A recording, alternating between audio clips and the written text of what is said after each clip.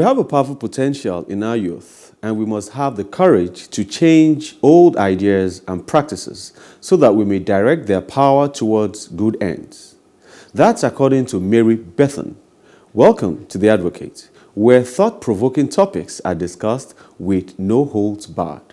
Here on Plus TV Africa, we basically call a spade by its name. I'm talking about the Nigerian youth becoming an endangered species and we change something about it. Joyce is advocating for the gap year in our education system, and in the same vein, Enitan is talking about the reality surrounding entry-level jobs. Felix is talking about crucial conversation being the drivers for good leadership, and finally, Tonye is asking if taking loans from banks of industry is worth it. Sit back, and after this break, We'll be here to dissect it all. Stay with us.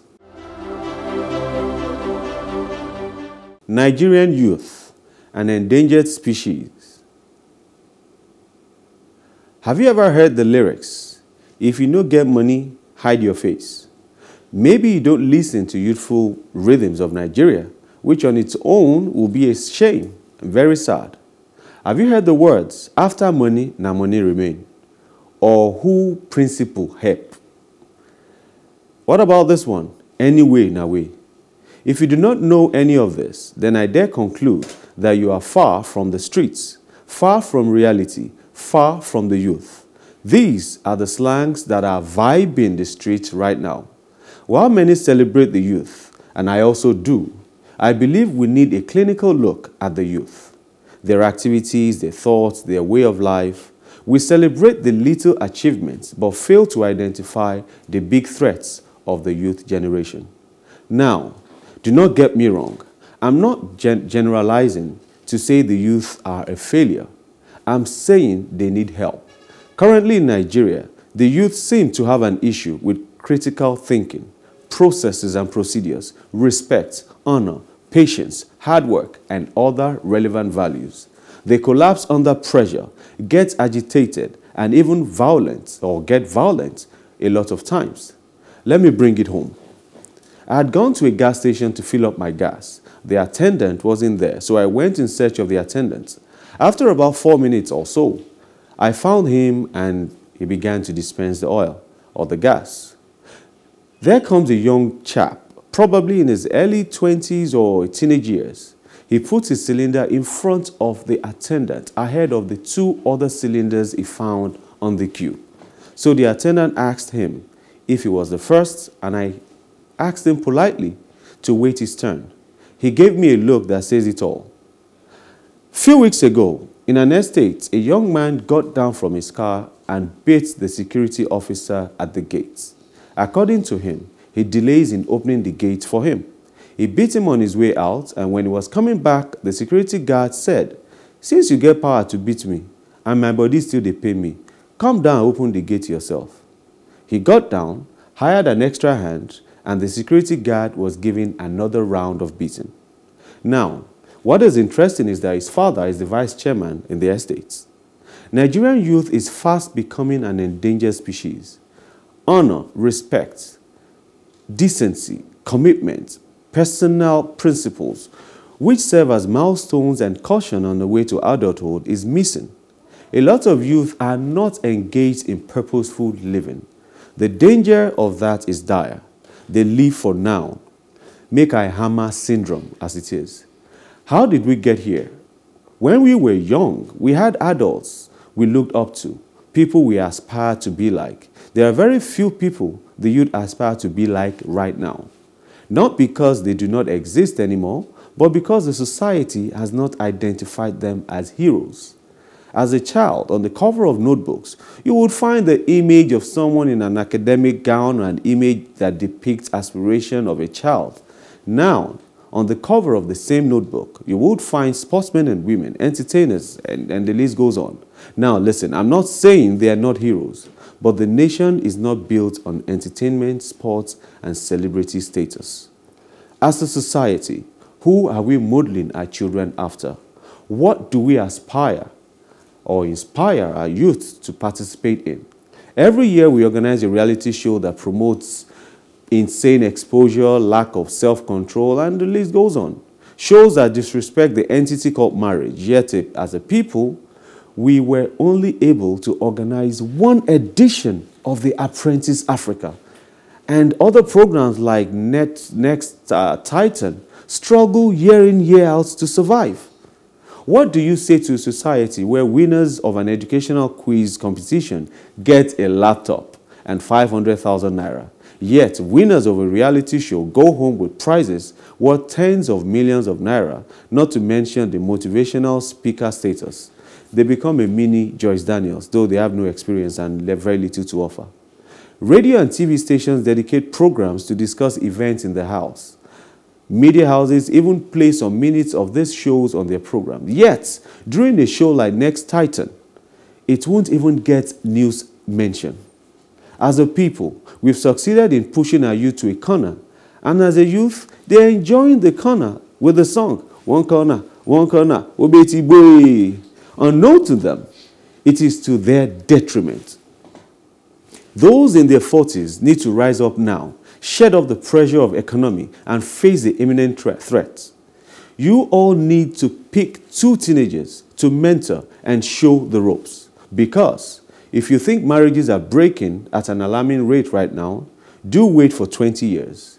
If you think we have touts on the streets now, do wait for 20 years. If you think our political leaders are selfish, hmm, the evil is yet to come. My name is Oluwakayode, and I volunteer to support the youth. That was long. I just had to pour my heart as in. Oh, and there's so many elements of that. So, look, like, really, what do the youth have to look forward to? Right? The, the future has been stolen away. Mm. It's been stolen. Mm. The, the things that should be in place for them are not there anymore. Mm. There's nothing in the bank for them. True. So, what are their options? There are no jobs for them to go into. Hmm. Um, the government has not you know, built the capacity of many sectors that would um, naturally employ them coming out from university, even talking about the ones yes. that went to university. Mm-hmm. And for those ones who you um, want to study a vocation, how many of those are now available? Because mm. those business have, businesses have not sustained. Okay. They've not been able to keep up mm-hmm. with what's going on with the economy. So I come from the stance where, yes, I understand this youth threat but are we surprised? I'm not surprised, and I don't blame the youth. Mm. Um, yes, that we're they're really into all this slay mama celebrity mm. culture, but that's the thing that they can verbally see that perhaps that can sustain them because they see people succeeding. Unfortunately, they don't know it's actually not that many that succeed in it. Exactly, and mm-hmm. it's it's it's the the social media helps to kind of create this myth that actually, Around. if I do this, if I post this or if I do this or if I follow this person's track, mm. me too, I go hammer. And that's not the reality on ground. Mm. So I agree, I agree with you there, but I just don't blame them because really, if I was their age, I'm not sure I'd be any different. My question is what happened to the young man who beat up the security guard? Was he reprimanded by his parents? Are his mm-hmm. parents being role models to him? Or are they the type who beat up the staff mm-hmm. when they are angry? Mm-hmm. What has he been seeing? Mm. So I, I, I, always like to come back home first before I go too far to the role Very models true. on TV. Mm-hmm. We have role models right in front of us who are our parents. What are they doing? Mm-hmm. Yes, I know that many parents are out at work trying to make ends meet, in quote. End to what? Thank you to unruly mm-hmm. children. Mm. So, as parents, I want to bring it back home to all of us here. What are we doing? How are we modeling? Are we speaking with our children, to our children, and listening to them? Or are we just telling them about how difficult things are out mm. there and they see mm. us borrow, That's they see us grovel doing work we don't like. They see mm. us gripe about the country. So who exactly are they supposed to turn to mm-hmm. to model them? That's, they that's, will go to the, the ones who make them happy, of course, and say one corner, one corner. You know, that's it. Let's live our lifestyle. Or constantly yeah. saddening them by telling them that all we do out there is for them. No. Mm. Let's check ourselves. That's check it. yourself. The next time you tell your child that I'm working so hard to pay your fees, you are a bad role model, and they will look outside. Hmm. Felix. Okay, and Joyce shook the table. well, oh, I see. This issue is always dear to my heart because it's destroying the very fabric that forms us as a nation. I remember some couple of years back, I went to a place called Buka in my university, then at the University of Benin, to get something to eat. And I went to the restaurant and I saw that there was this music playing at the background, normal Nigerian secular music, and a boy of about eight years or less singing and rapping with it in the restaurant. I called him, hey, come here.